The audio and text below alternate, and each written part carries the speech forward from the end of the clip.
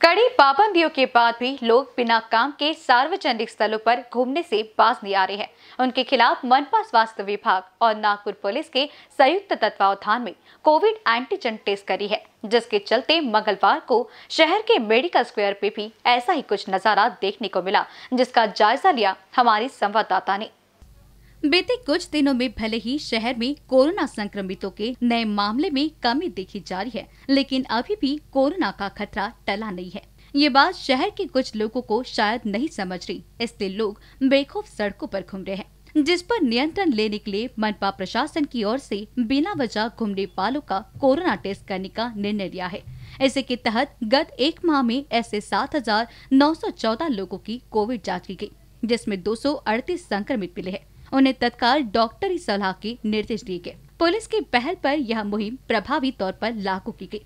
इसी श्रृंखला में शहर के मेडिकल स्क्वायर में भी ऐसा ही कुछ नज़ारा देखने को मिला, जब हमारी संवाददाता ने पुलिस प्रशासन से बात की, इस अभियान को कुछ लोगों द्वारा अच्छा प्रतिसाद मिल रहा है तो वही कुछ लोग इसका विरोध भी कर रहे हैं। प्रशासन की ओर से सुपर स्प्रेडर्स का जो टेस्ट है आरटीपीसीआर टेस्ट कराने की आ, कराने को कहा गया था। इसी के तहत आज मेडिकल स्क्वायर पे भी आ, ये अभियान शुरू किया गया। जिस बारे में आज हम सर से बात करने वाले हैं। सर आ, मैं आपसे जानना चाहूँगी कि किस तरीके की ये मुहिम है और पुलिस प्रशासन द्वारा किस तरीके का यहाँ पे कार्य किया जा रहा है?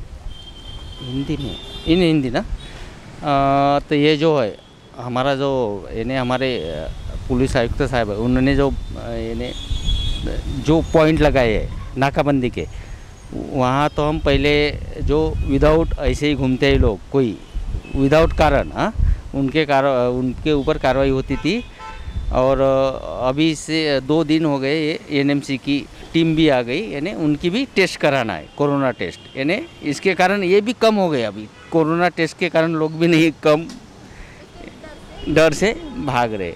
तो भी हमारी अभी आज की 200 है, कल की भी 250 अबो थी ये भी है, अच्छी कार्रवाई है। और, जो काम कर रहे हैं हमारे पुलिस वाले, जो धूप है ये, मई महीने की, बहुत ज़्यादा धूप है।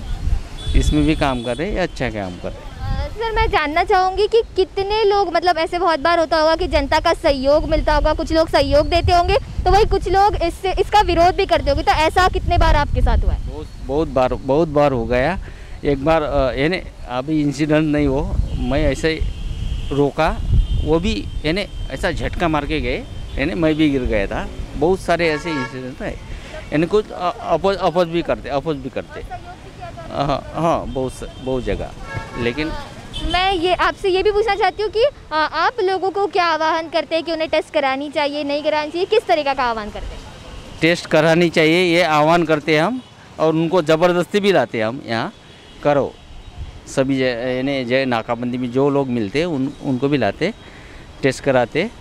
और, बाकी लोगों को भी बोलते, बिन फजूल, यानी ऐसा काम नहीं रहा तो घूमो मत। जो अभी नागपुर का आंकड़ा, जो भी है, कम हो रहा, बहुत कम हो रहा। ये भी अच्छी है और हमारी पुलिस डिपार्टमेंट और एनएमसी जो काम कर रही, इसका नतीजा ही है समझ लो।